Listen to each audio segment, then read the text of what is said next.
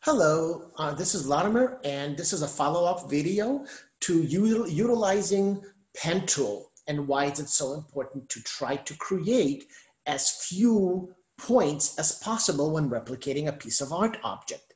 For instance, let's go ahead and draw an art object utilizing some of our basic shapes. Let's go ahead and find out what we're gonna do. We're not gonna do a fill. We're gonna go ahead and do an elliptical tool And then we're going to draw maybe a different tool. Let's go ahead and draw a, let's go ahead and use a round tool. Oh, I don't want to do a round tool. I want to do a rectangle tool. Let's see, a rectangle tool, right? And then the last thing I'm going to do is I'm going to use uh, rectangle tool and I'm going to use, let's see, I'm going to go ahead and use, okay, let's go ahead and use another rectangle tool. There we go.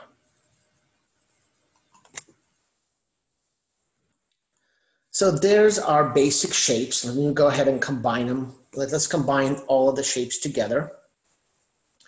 And I'm gonna go ahead and uh, merge visible. Oh, I'm just gonna flatten them all. That's fine, flatten the image. There we go. I want all of them to be uh, a single image, right? Nothing distinguishing one versus the other. So now there's, there's my image. So the next thing I'm going to do is I'm going to get rid of this rectangle tool. There you go.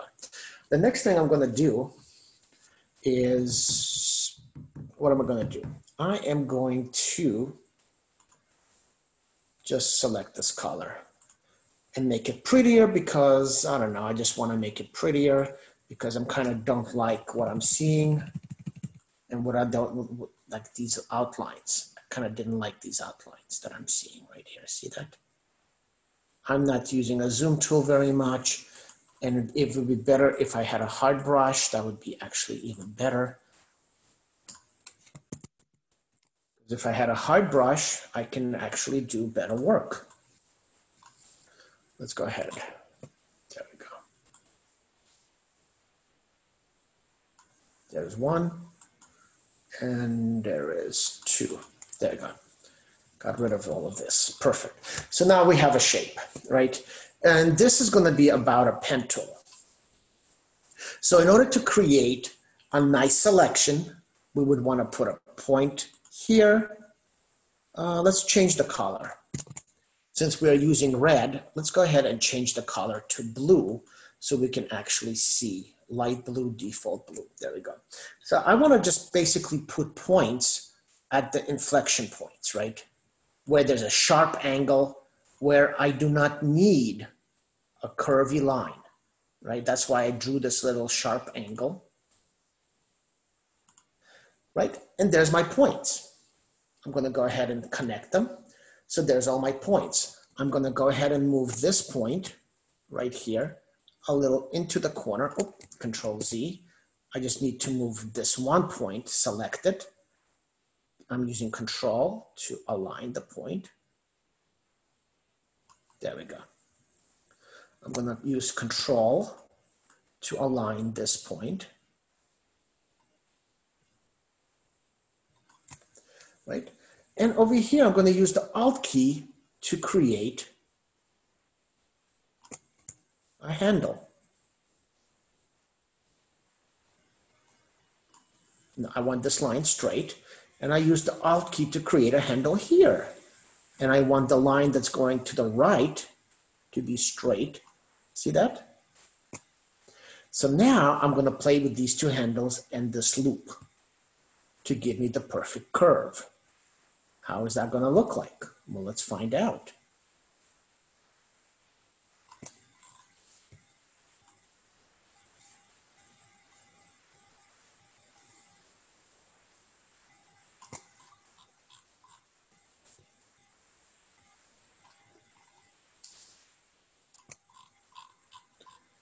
That's not looking very good. I need an extra point. You see what's happening? I'm not able to get this line to this edge.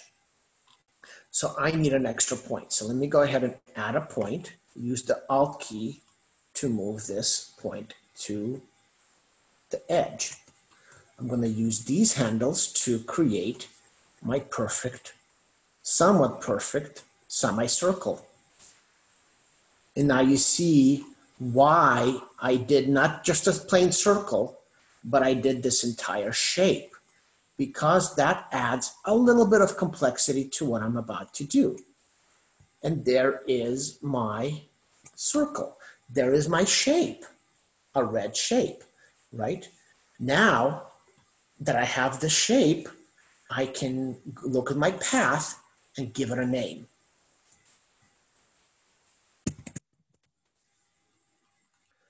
Now I have a shape. So now I can take this shape, right? And let's see, this is going to be, oh, I'm gonna change this to a combination shape. And I'm gonna go ahead, Control Z, create, out of this shape, I'm gonna go ahead, edit and create a new um, define custom shape I'm just gonna go ahead and say shape. I don't know what shape it is, right? So now I can go ahead and select the custom shape. I'm just waiting for the window to close. There we go. There is the window. Collect a custom shape. And there is my custom shape. I can actually draw the shape right on the screen. Uh, let's go ahead and change the stroke. Well, I'll change it in a second, right? Change the stroke to green and the stroke to none, right? And now I have a green shape. Right? So there is my shapes that I, that I have. Now, the reason I attached this part to it is so you can see the different ways of me creating this particular shapes. Notice I'm using as few points as I need to in order to accommodate this shape. Let's go ahead and create a different shape. Let's go ahead and repeat the process that I just did. Right, let's go ahead and select the pen tool. Let's create another shape. And we're gonna repeat the process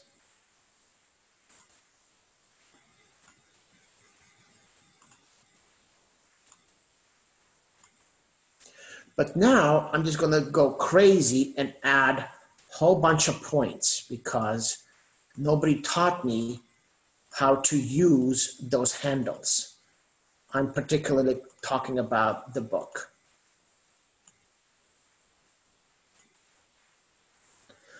And it's close, but notice the, the shape is not accurate. It's actually not a circle. It's kind of weird looking, right?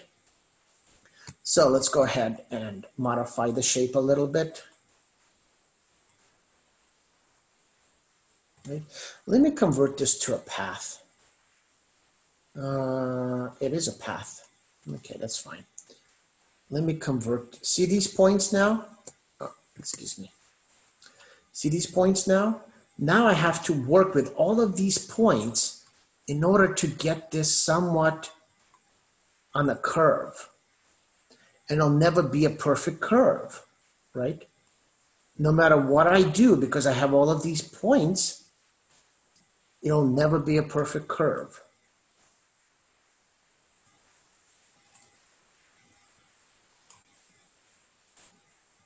See, I'm just trying to fix my mistakes by using all of these handles. It looks like it's fixing it, right? But it truly is not. Because when I go ahead and I go edit and I go ahead and I go, go define custom shape, notice this custom shape that we just defined. Let's go ahead and look at it. Let's go ahead and select shape and let's see the other custom shape. let's go ahead and draw it out here.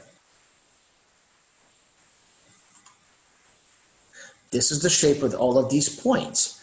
Now look at the difference. If we zoom in, look at this circle, how it looks. Look at all the different angles it has. It doesn't look like a very nice circle.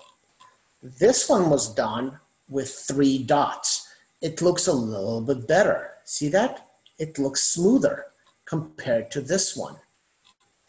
Don't look at the size, look at the actual line and how smooth it looks. One made with a lot of points, one made with as few as possible points.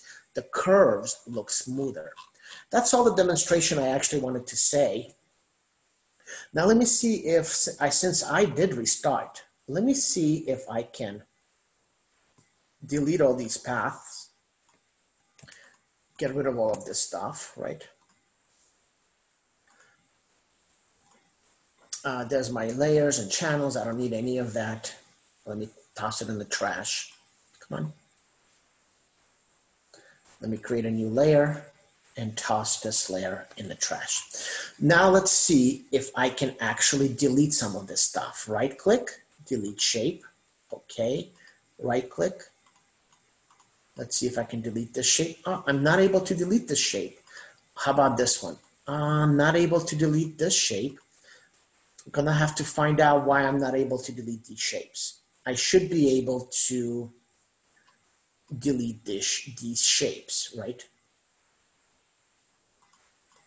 So I'm just gonna put them in here. I'm gonna find out later why I'm not able to, it's not giving me an option to delete this particular shapes, right?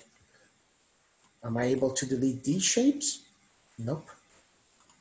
I might have to restart my Photoshop one more time in order for me to be able to delete some of these shapes.